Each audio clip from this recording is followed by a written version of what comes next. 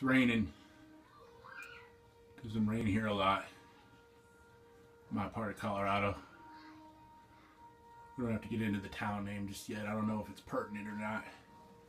It's the smallest town I've ever lived in. I lived in Chicago till I was like 30. And now it seems even smaller because of some stuff that's been happening lately. My name's Jerimie. 41. Graduated college last December. Be 42 in about a month. This is my house here. Used to be our house for like eight years. It's my main problem right now. It's been it's been my favorite subject for better or for worse for the last four months or so. Uh, thinking about calling this dissolution, but you know we'll see what what sticks or not. Check out the rest of my house, I guess. Used to be our bed, now it's my bed. Still don't quite uh use her side for anything other than like kind of a current pile, work desk, laundry and stuff like that. This is uh the jacket for Paul's Boutique. It's not my very favorite record, but it always makes my top 10. My buddy Evan and me. Talk about that story later. This is my keep crate of records. I had a lot of records, but I pared it down because I'm paring down my whole life to this. My hope is about 10 months, my whole life can fit in the back of a Honda and roll out pretty easy.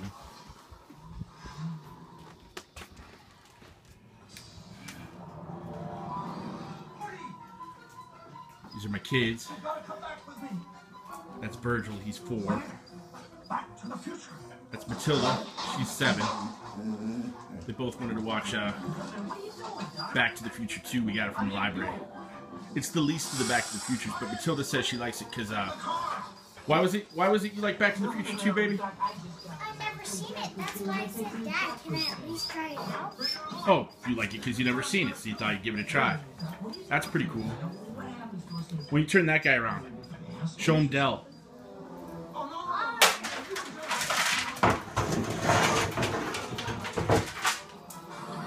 That's Dell, because he came from Delavan, Wisconsin. That's.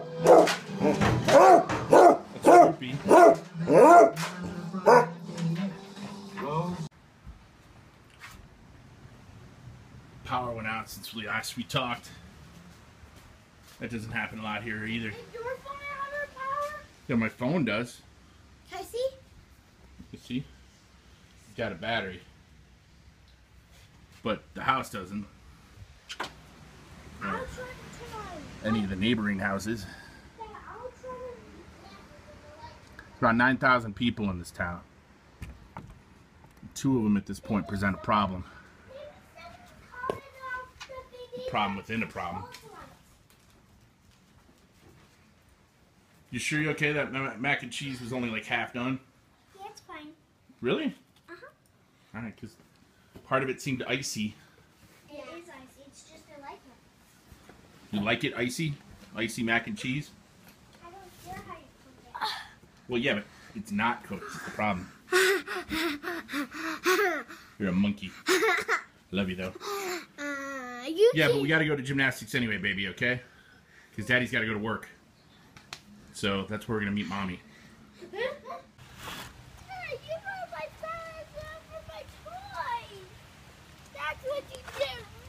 All right, that's you know, she didn't ruin anything. But just played with it. She just played with it. No, she did. She ruined it. She did not ruin it. Yes, I did. All right, look, just get yourself belted in. It. Hey, both of you, be nice. That's enough. That's enough of this. Why are you Put your belts on. it on your camera then? Just that's what I do. I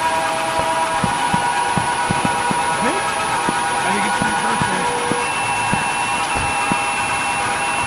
Happy birthday, baby, from the Town of Douglas.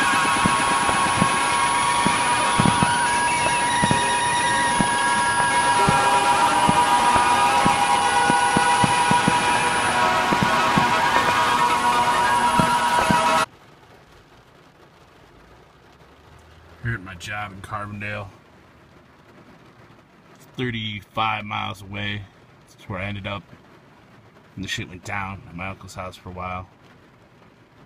Just walked into this place, it's a couple blocks away, and perhaps even recognized the color scheme. Got the job. It's humble work. Doesn't pay a lot, but my boss is pretty cool.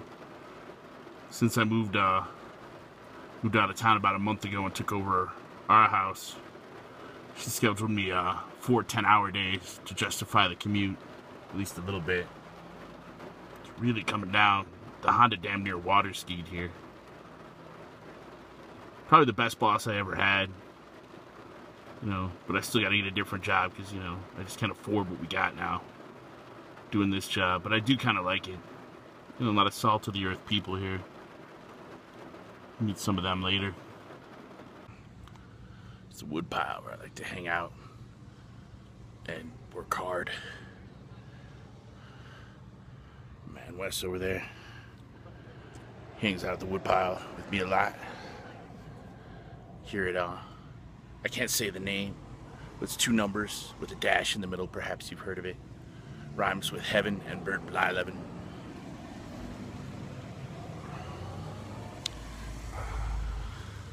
Got a job assignment this morning tonight, which is kind of lame. They don't usually do that. They must be cracking now. It's a pretty cool labor crunch over the summer. You can do whatever you wanted. Pretty much, so long as you showed up, which is what I did. I showed up like a motherfucker. You know? I'm afraid I'm gonna take a nap.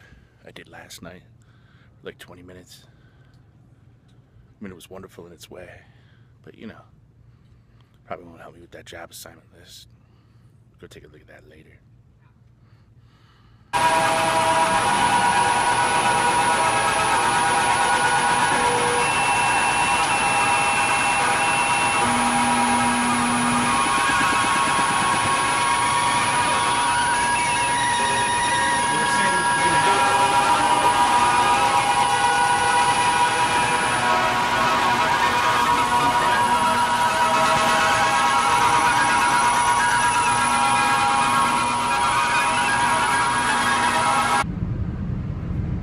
I worry that uh, overnight shift might be a young man's game. Keep falling asleep on this drive home. Uh, for those of you interested in continuity, um, I'm sorry I didn't follow through and show you that list of uh, job assignments. Know that would have been the real George Lucas, you know, Steven Spielberg adventure type moment. But you know, my phone ran out of juice. Got a bunch of texts while I was out about from uh, from her my estranged wife, my daughter is worried that she won't be able to take her stuffed puppy to heaven, and then I'm going to throw it out because been throwing out stuff lately. You know, paring down like I was talking about. I mean, I you know I can't really speak as to like whether or not stuffed puppies are allowed in heaven, but uh, I wouldn't throw the puppy out. That's for sure. Ran out of ice to chew to keep me awake. Trying gum. It doesn't work. I suppose we'll all find out real soon. Alright.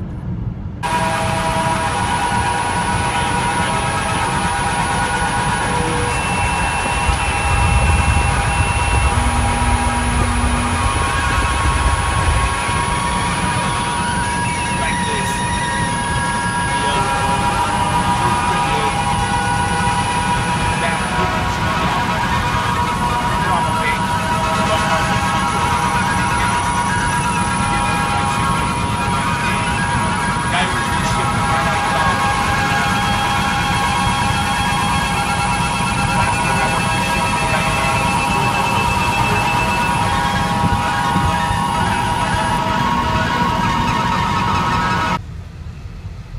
Damn, man. Pretty much every ride home, right near the end, my eyes closed three or four times while I'm out on the highway. I don't know what to do with that information. This is the abode of Can Mike. I wrote a story about him for the Rifle Telegram a few months back. Pretty good. Goes around and collects recycled cans to help pay for his uh, medical bills from cancer.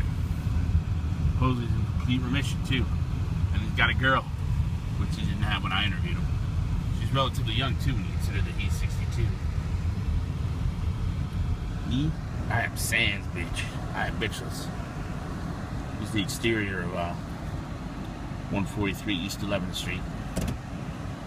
Looks like a friendly little baby chick, kind of. It's pretty loud and obnoxious, but let me tell you, if your wife ever has you thrown out of the house by the police, you couldn't want a more loyal, uh, well, like uh, proxy roommate than, than than Droopy here. He pooped on her pillow, don't you know? She's still pretty upset about it. Now I'm kind of trying to win her back, so I wouldn't have had him do that exactly. But you might have had just cause. There was some foul things that happened shortly after I was legally barred from being here.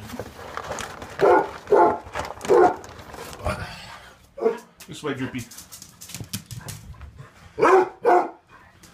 He stinks. He's loud. He's obnoxious. But he's true blue. He's also a pretty hungry guy. However much you give me, he always wants more. He's gotten pretty slender in his own old age, so I don't begrudge it much. Here's one part of this situation I really, really don't like. I get home, long day, night's work, I go into my kid's room, and if I'm working, they're not here. They're over there. Alright, you know. This place was a, like a real. I know it doesn't look that clean now, but it was worse. I used this rake to get it as clean as it is, and I'm gonna finish up the process on Sunday. Someday, hopefully sooner than later, the kids will spend every night with me. I got some angles on that I'm working.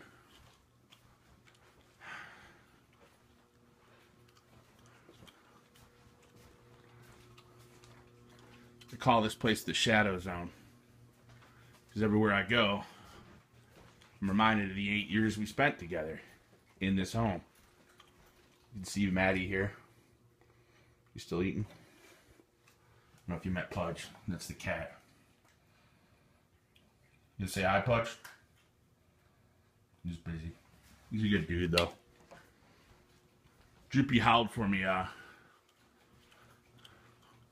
whole time I was gone. Apparently, Pudge kept looking at the door waiting for me to come home. It's like a three month period there where I didn't live here. And Andrea still did.